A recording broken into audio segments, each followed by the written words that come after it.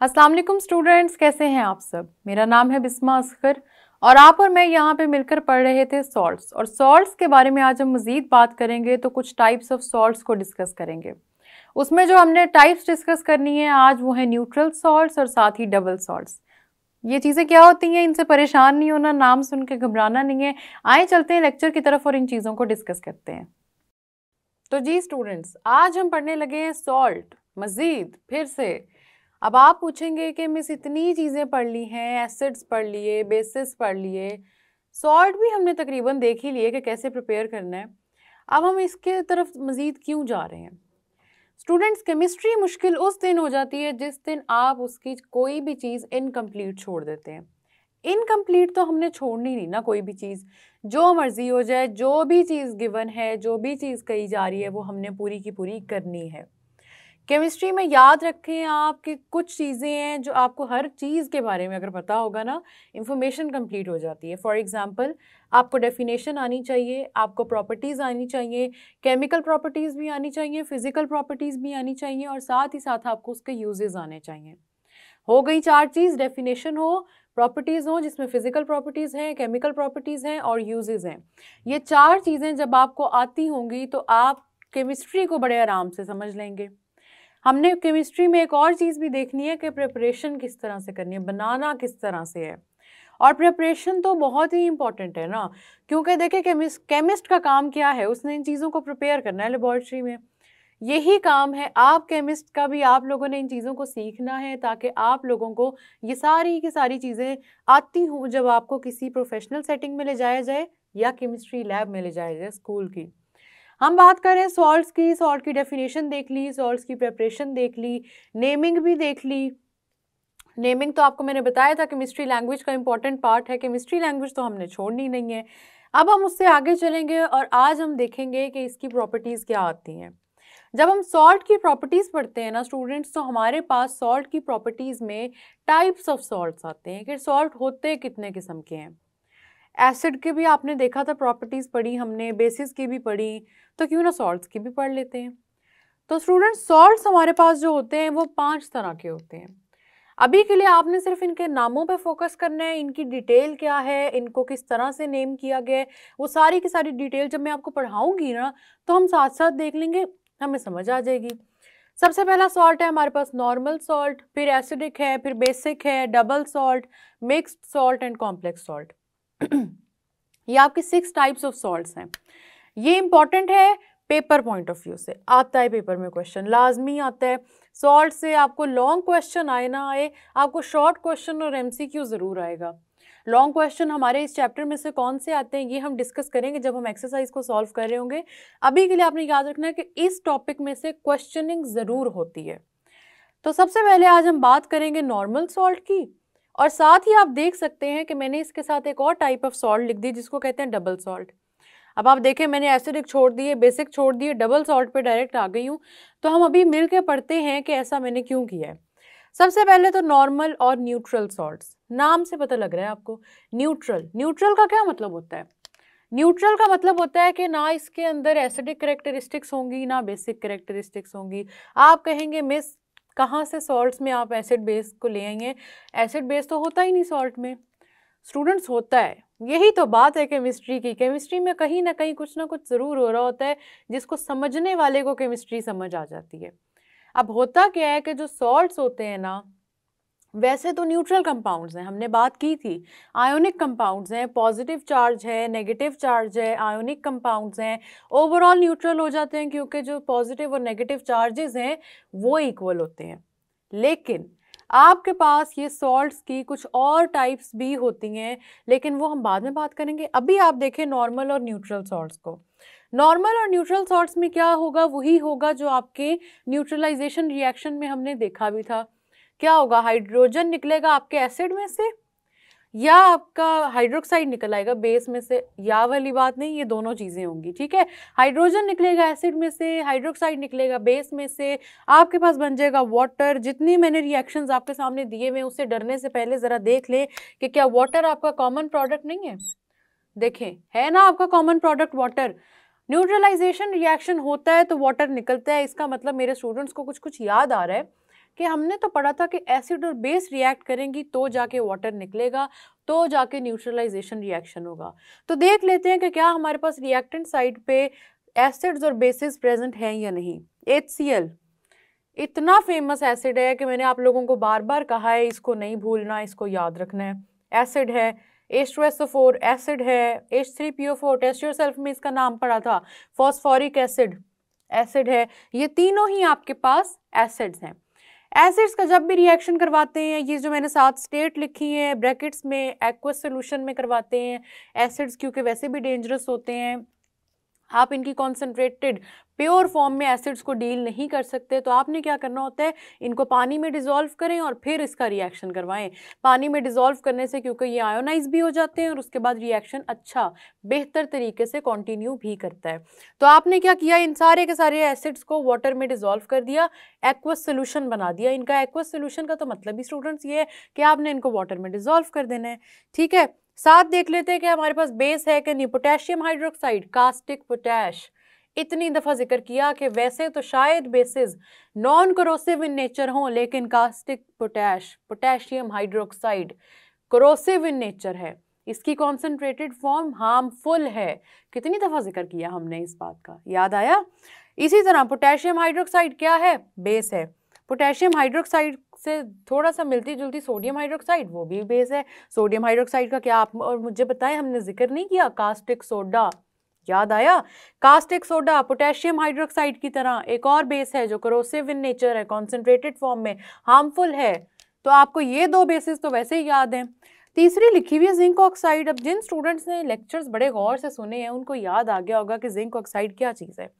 हमने पढ़े थे मेटेलिक और नॉन मेटेलिक ऑक्साइड्स जिसमें मैंने आपको बताया था कि आपके मेटल्स बनाते हैं बेसिक ऑक्साइड्स और आपके जो नॉन मेटल्स होते हैं, वो बनाते हैं एसिडिक ऑक्साइड्स साथ ही साथ हमने ये भी बात की थी कि आपके जो कुछ ऑक्साइड्स ऐसे होते हैं जो एम्फोटेरिक होते हैं, जो एसिड के साथ बेस बन जाते हैं और बेस के साथ एसिड बन जाते हैं। जिसमें मैंने आपको एक छोटा सा टास्क भी दिया था, आपको याद होगा, लेकिन अभी हम बात करें जिंक ऑक्साइड की तो याद आया कि ये वो मेटल ऑक्साइड है जिसकी हमने बात की थी, एम्फोटेरिक है।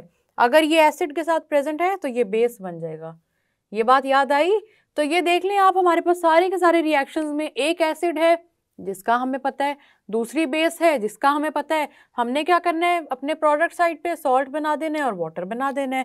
सॉल्ट और वाटर किस तरह से बनेगा? आपका हाइड्रोजन आ जाएगा आपके एसिड में से और हाइड्रोक्साइड आइन आ जाएगा आपकी बेस में से। इन दोनों का जब कॉम्बिनेशन होगा तो आपके पास बन जाएगा वाटर ये बात है ज़रूरी याद रखने वाली क्योंकि ये वाली जो बात है ना इससे आप रिएक्शन लिखने में आपको बड़ी सिंप्लिसिटी होगी आसानी होगी ठीक है? आपके पास फिर देख लेते हैं। अब जिंक ऑक्साइड है, है तो बेस बेस हो और एसिड हो और वाटर ना बने ऐसा हो नहीं सकता। ऑक्सीजन आ गया आपके जिंक ऑक्साइड में से हाइड्रोजन आ गया आपके सल्फ्यूरिक एसिड में से प्रोडक्ट बन गया आपका वाटर थर्ड देख लेते हैं हाइड्रोक्साइड आइन आया आपके बेस में से, हाइड्रोजन आ गया आपके फॉस्फोरिक एसिड में से बन गया वाटर। वाटर हमने बना लिया। अब सॉल्ट बनाने की तरफ़ चलते हैं। सॉल्ट बनाने के लिए स्टूडेंट्स, आपको याद होगा, हमने कहा था पॉजिटिव और नेगेटिव चार्जेस इकट्ठे करने हैं। अगर हम एसिड और बेस की बात कर रहे होते तो मैं आपको ये पॉजिटिव और नेगेटिव चार्जेस को इकट्ठा करना ना सिखाती। मैं आपको सिंपली कहती, जो चीज़ें रह गई हैं उनको आप जोड़ें, अपना दूसरा प्रोडक्ट बना लें। हम बात करें लेकिन सॉल्ट्स की। सॉल्ट की बात करें और आप उसको पूरी तरह से आयोनिक कंपाउंड नहीं बनाएँगे तो ये नहीं हो सकता कि आपकी बात कंप्लीट हो जाए। न्यूट्रल सॉल्ट्स की बात कर रहे हैं। न्यूट्रल सॉल्ट्स में देखें तो सही कि क्या चार्जेस इक्वल हो रहे हैं कि नहीं हो रहे। क्या बात करेंगे हम? ये रह गया पोटेशियम, मेटल है। पॉजिटिव चार्ज है इसके ऊपर। क्लोरीन नॉन मेटल है, उसके ऊपर है नेगेटिव चार्ज। ये पॉजिटिव, ये इस नेगेटिव से मिल जाएगा, आपका एक प्रोडक्ट बन जाएगा पोटेशियम क्लोराइड। ठीक है, नाम याद आया कि मेटल का नाम एज इट इज़ लिख देना है और जो एसिड है उसका नेगेटिव पार्ट उठा लेना है। क्लोराइड जो क्लोरीन है वो आयन बनने के बाद क्लोराइड कहलाती है। तो पोटेशियम क्लोराइड आपके इस सॉल्ट का नाम हो जाएगा। वाटर लिक्विड फॉर्म में लिखा हुआ है। एक्वस ना भी लिखें, आपको पता ही वाटर तो वाटर है ना, उसकी स्टेट तो फिर लिक्विड ही होगी। बाकी सब चीज़ें एक्वस फॉर्म में मतलब सारे के सारे रिएक्शन वाटर में हो रहे हैं। ठीक है? फिर भी और वाटर बन रहे हैं, आप देख सकते हैं। दूसरा रिएक्शन देखिए H two S four zinc oxide water बनाने के बाद आपके पास जिंक मेटल है। मेटल है, ये बेसिक ऑक्साइड है पॉजिटिव चार्ज होगा जिंक के ऊपर।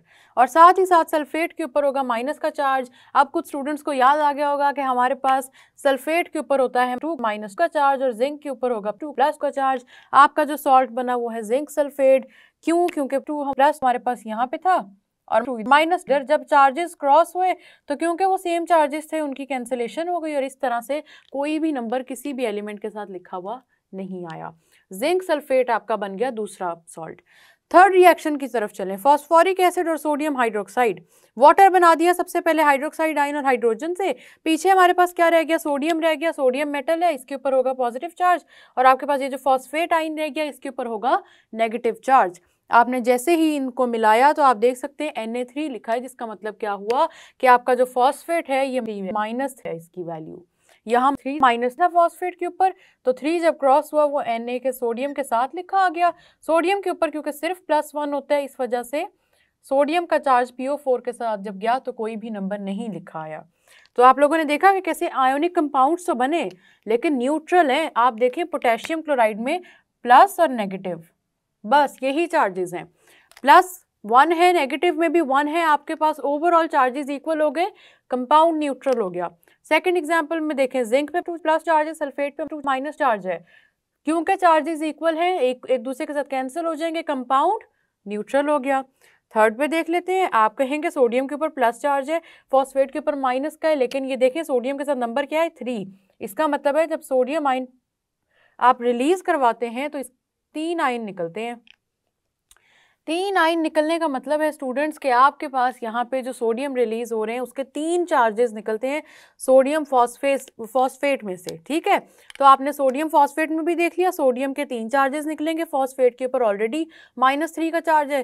कैंसिल हो गया कंपाउंड हो गया न्यूट्रल इन रिएक्शंस की जिनको समझ आ गई है, उनके लिए एक मैंने एडिशनल रिएक्शन लिखा है, फ़िक्र नहीं करनी बुक का रिएक्शन है, इसलिए लिखा है, लेकिन ये आपके लिए एडिशनल इसलिए मैं कह रही हूँ, ताकि आप इसको देखें और अब सोचें कि क्या आपको इस रिएक्शन की समझ आ रही है।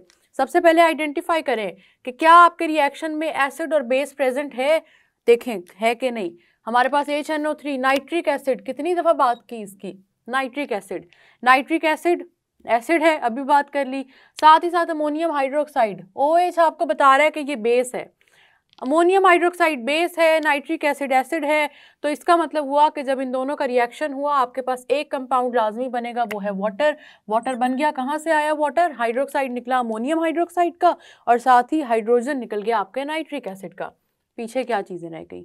पीछे रह गया आपका अमोनियम आइन जिसके ऊपर होगा पॉजिटिव चार्ज अब आप पूछेंगे कि नाइट्रोजन और हाइड्रोजन के चार्जेस को अलहदा अलहदा क्यों नहीं हमने बात की?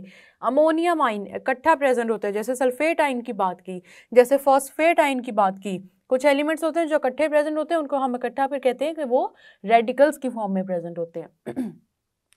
अमोनियम आइन अमोनियम आइन इकट्ठा प्रेजेंट है, ठीक है? पॉजिटिव चार्ज है अमोनियम पे और आपके जो नाइट्रेट है, इसके ऊपर हो जाएगा नेगेटिव चार्ज अब ये पॉजिटिव और नेगेटिव मिल जाएँगे और जब पॉजिटिव और नेगेटिव मिलेंगे तो एक दूसरे के, क्योंकि चार्जेस इक्वल हैं कैंसिल आउट कर देंगे इफ़ेक्ट को ओवरऑल जो कंपाउंड बन जाएगा, वो होगा न्यूट्रल अब हमने बात की थी कि कैटाइन जो आपका बनता है, वो कैटाइन आपका जो निकलता है ना, वो निकलता है आपके सोचे ज़रा, किस चीज़ से निकलता है? पॉजिटिव आइन है कैटाइन कहाँ से निकलेगा? बेस से निकलेगा। इसको हमने कहा था कि हम इसको बेसिक रेडिकल भी कह सकते हैं। तब नेमिंग के टाइम पे मैंने आपको बताया था कि हम बेसिक रेडिकल देखेंगे जब हम रिएक्शंस पढ़ रहे होंगे। तो यहाँ पे देखें, हमारे पास अमोनियम हाइड्रोक्साइड में अमोनिया अमोनियम आइन ये जो है, ये अमोनियम आइन अमोनियम नाइट्रेट जो सॉल्ट है, उसके बनने में यूज़ नहीं हो रहा क्या? तो ये हो गया ना बेसिक रेडिकल इसको बेसिक रेडिकल रेडिकल इसलिए कहते हैं क्योंकि इसके ऊपर एक चार्ज है। What is the charge that is the positive charge cation का मतलब ये होता है कि इसके ऊपर होगा पॉजिटिव चार्ज कैटाइन है, इसके ऊपर पॉजिटिव चार्ज है तो हमें पता लग गया कि ठीक है, हमारे पास पॉजिटिव चार्ज वाला एक आइन आया है जिसने सॉल्ट बनाया है। लेकिन वो पॉजिटिव चार्ज कहाँ से आया है? वो आया है आपकी बेस से, अमोनियम हाइड्रोक्साइड से। अमोनियम हाइड्रोक्साइड से आपका पॉजिटिव चार्ज आया और क्योंकि ये चार्ज बेस की तरफ़ से आया तो हमने कह दिया इसको बेसिक रेडिकल। ठीक है? बेसिक रेडिकल क्यों कहा? क्योंकि ये बेस से आ रहा है। अब बात कर लेते हैं एनाइन की। एनाइन है स्टूडेंट्स आपका, एसिड रेडिकल। एसिडिक रेडिकल कह लें या एसिड रेडिकल कह लें, एक ही बात है, ये एसिड से आएगा। याद रखने के लिए एनाइन भी ए से स्टार्ट होता है, एसिडिक भी ए से स्टार्ट होता है। तो आपने याद रखना है कि एनाइन, क्योंकि ए से स्टार्ट हो रहा है, एसिडिक भी ए से स्टार्ट हो रहा है। इसका मतलब जो नेगेटिव आइन है, एनाइन का मतलब क्या होता है? Negative ion. जो नेगेटिव आइन है, वो कहाँ से आ रहा है? आपकी एसिड में से आ रहा है। और देख लें आप यहाँ पे ऐसा ही है नाइट्रेट आइन नाइट्रेट आइन हमारा नेगेटिव है एसिड रेडिकल कह देंगे क्योंकि ये एसिड से निकल रहा है। अमोनियम हमारा क्योंकि पॉजिटिव आइन है अमोनियम आइन को बेसिक रेडिकल कहेंगे क्योंकि ये बेस से निकल रहा है और इन दोनों के कॉम्बिनेशन से आपके पास बन जाएगा अमोनियम नाइट्रेट पॉजिटिव और नेगेटिव रेडिकल्स मौजूद हैं इसके अंदर और ओवरऑल क्योंकि चार्जेस इक्वल हैं तो आपका कंपाउंड हो गया न्यूट्रल समझ आई यहाँ तक बात? अब चलते हैं अगर हम बात करते हैं डबल सॉल्ट्स के बारे में। डबल सॉल्ट्स क्या चीज़ होते हैं? डबल सॉल्ट स्टूडेंट्स ये होते हैं, बहुत ही इजी है। आपने क्या किया कि लेबॉरेटरी में दो नॉर्मल सॉल्ट्स लिए, दो नॉर्मल न्यूट्रल सॉल्ट्स न्यूट्रल या नॉर्मल सॉल्ट का मतलब है कि जो न्यूट्रल हैं ओवरऑल जो, जिनके चार्जेस भी न्यूट्रल हैं, जिनमें से जब आप इसके अंदर लिटमस पेपर डालेंगे तो लिटमस के कलर पे कोई इफ़ेक्ट नहीं आएगा। समझ रहे हैं आप बात को? लिटमस पे इफ़ेक्ट नहीं आएगा। हमने तो कह दिया ये न्यूट्रल है। न्यूट्रल दो सॉल्ट्स आपने लिए। आपने उनको वाटर में ऐड किया और उन दोनों को इकट्ठा क्रिस्टलाइज करवा दिया। इकट्ठे उनके क्रिस्टल बन गया। वो दो सॉल्ट्स क्या करेंगे? एक दूसरे के अंदर मिक्स हो जाएँगे वाटर को अपने अंदर एब्जॉर्ब करेंगे और क्रिस्टल फॉर्म में कन्वर्ट हो जाएँगे।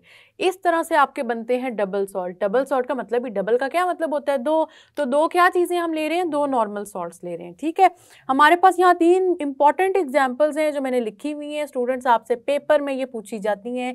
ये तीनों चीज़ें पेपर पॉइंट ऑफ़ व्यू में एम पॉइंट ऑफ़ व्यू से बहुत इंपॉर्टेंट है, क्योंकि आपसे पूछी जाएँगी, आपको नाम दे दिया जाएगा और फॉर्मूला पूछा जाएगा या फॉर्मूला दे दिया जाएगा और नाम पूछा जाएगा। आपने याद रखना है, सबसे पहले है मोहर सॉल्ट।